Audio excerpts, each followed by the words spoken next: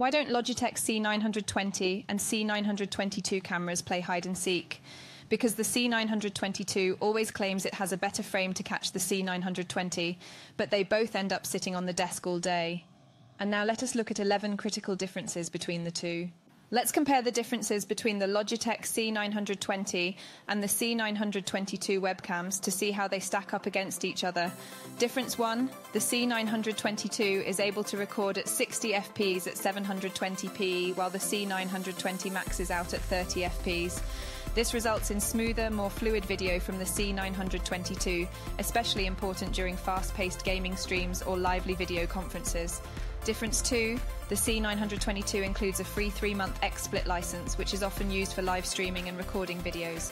This is a valuable bonus for gamers and broadcasters that is not available with the C920.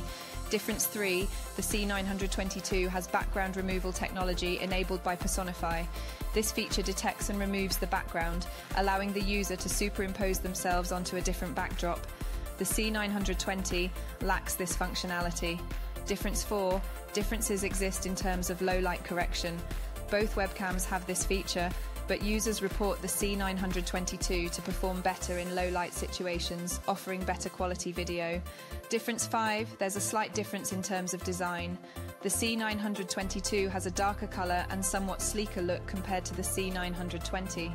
Difference 6 The C922 is equipped with an automatic light correction feature, ensuring optimal light focus on the subject even in poor lighting conditions.